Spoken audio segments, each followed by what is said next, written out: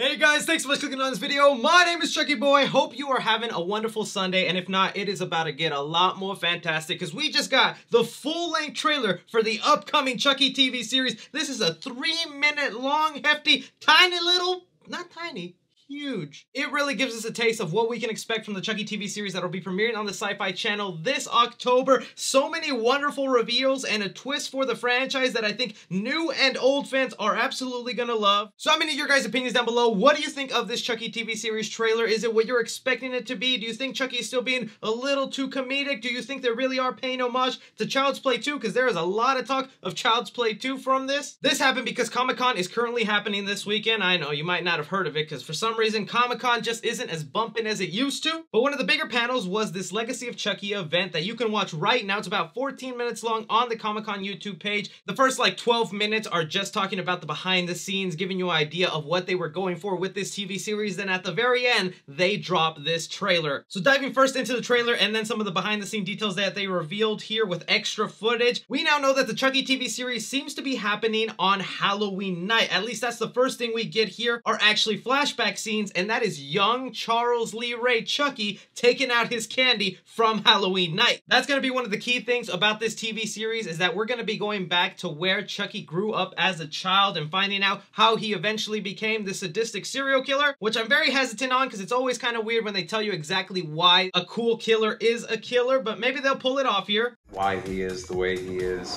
How did you end up like this? Great question. It's really shown in a real creative way. Let me tell you the story of my first time. Still, It's also worth pointing out that this might be an homage to Michael Myers. We've seen Don Mancini, the creator, pay homages to other serial killers before. He's even talked about wanting to have a Freddy Krueger and Chucky movie, like that'll never happen, unfortunately. But also in Bride of Chucky, he had a ton of Easter eggs to other serial killers there. So this might be him doing that with Chucky here, giving him a clown outfit very similar to what young Michael Myers wore when he first started killing. Now, if we notice, some of these flashback Halloween scenes are coinciding with current day Halloween. So it seems like something happened on Halloween night to Charles Lee Ray, and now in Halloween present time, it's gonna come back into play. Then we meet our lead star. We saw some of this in the teaser trailer they dropped last week in preparation for this big trailer of our new main lead of the series, Jake Weber. This is to be a kid who's 14 years old, is gay. I only bring that up because Don Mancini mentions that as a big important part of the show, so why not mention it here? But he's a kid who's an artist and is working on a sculpture made out of dolls, and that's why he decides to purchase this Chucky doll at this yard sale. And once we get inside his actual room, we can even see that sculpture he's working on right there.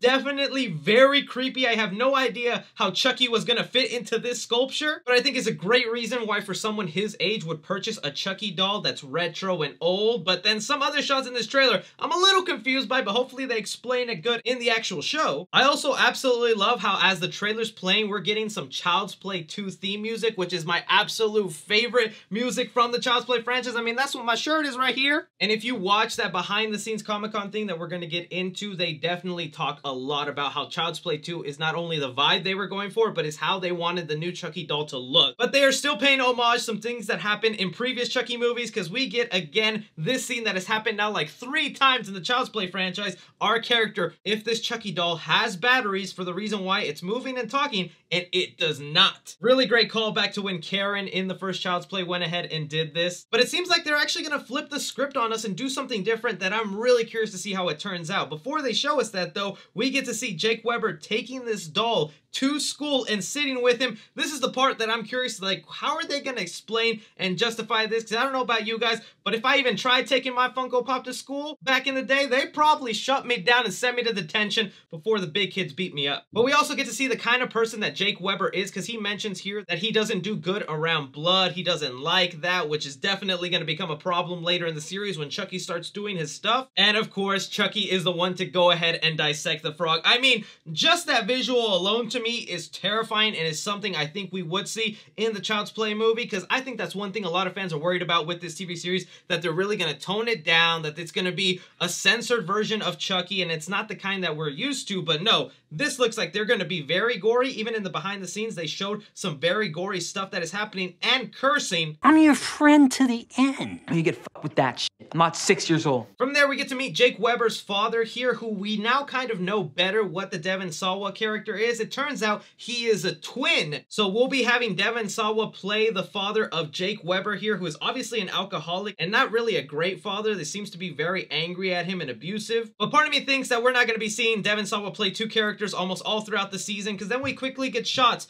of the police at Jake Weber's house and Chucky just sitting there in the distance. Something tells me that Chucky's going to see how abusive this dad is and goes, I'll take care of this problem for you, kid, and gets rid of him. From there, we get to meet one of the friends and also love interests for our character, Jake Weber. This is a character named Devin Lopez, and like I said, he's a friend to our main character, but our main character also is in love with him. That's going to be an interesting dynamic, especially if the character of Devin is not gay himself and doesn't see Jake in that way. It's going to cause a real conflict and add just an interesting layer to the show. Other details that we've heard about Devin's character, he's said to be a YouTuber in this series, so he's constantly making YouTube videos and talking about news reports, so I'm sure probably one of those things will be talking about Chucky and his past killings. And as the trailer goes on, we get to see what kind of person Jake Weber is in school, and he definitely seems to be the person that is mistreated and bullied a lot, which will come into play on flipping the script in the series, because it looks like Chucky and our main character are gonna be teaming up and not really enemies here, which I think is absolutely fantastic. Because right here during a school assembly, it looks like while he's being uh, laughed at or maybe a prank just happened to him, Chucky whispers something in his ear and our main character just goes,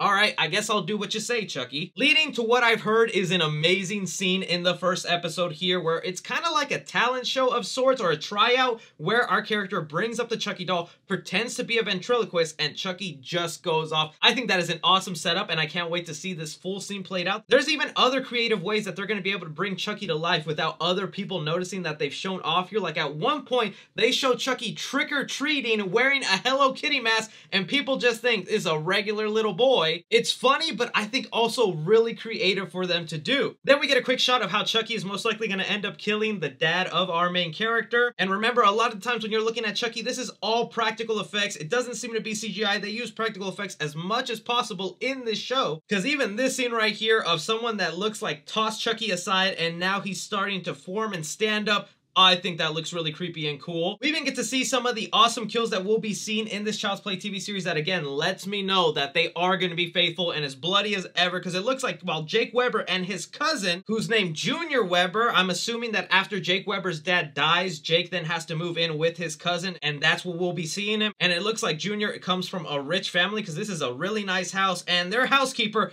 just got the Chucky treatment with a bunch of knives in the dishwasher. Don't look at that and tell me that they're going to censor Chucky in this series. One thing I am kind of curious how it'll play out, if it'll be too goofy and remind me a little bit of Seed of Chucky, but I'm willing to give it a shot, is Chucky here is basically playing video games with another character. Mommy says real killing is bad. Yeah, well, mommy's full of sh. Whether this is another family member of Jake Weber or someone else, I do kind of like the dialogue in between them and Chucky saying, your mother's full of Just whatever game they're playing, please do not let it be Fortnite. We have had enough characters play Fortnite on the big screen. What all these remaining shots of the trailer are coming to look like is that the finale is probably going to be one big Halloween party where Chucky's going to try and convince the main character that, hey, I can solve your problems. I can get rid of all these bullies by killing them at this big party. I'll be honest with you, this series is looking really fantastic, and I think this trailer did a great job of showcasing our main new characters because one thing this trailer really did not do is reveal any of the old characters coming into the series. That's one of the things that was very big on this Comic-Con panel when they were talking about the Chucky TV series is they were mentioning that we will have Alex, Vincent, and Kyle coming back, reforming that relationship that we saw in Child's Play 2, this little brother and big sister dynamic, which I'm really excited about. We also have Nica returning, and I think we even get to see a glimpse of that. Don't forget, at the end of Cult of Chucky, Nica is technically Chucky because Charles Lee Ray was able to transfer his soul into her, as well as Jennifer Tilly's character, who knows if her doll Tiffany will be showing up. But none of those characters were present in this trailer, and we know 100% that they will show up to somehow help our new characters. So I really like this dynamic of what they've been doing. I can't wait to see what's done, but I want to hear from you guys. How do you feel about this trailer for the Chucky TV series? Are you excited to see it go down? What were your favorite parts? What are you concerned about? Or do you think, nah, everything looks great? Anything and everything, be sure to leave me your thoughts down below. Don't forget to like, subscribe, follow me on Twitter at 3C Film Review. As always, I'm Chris. Oh, Chucky boy. Take care.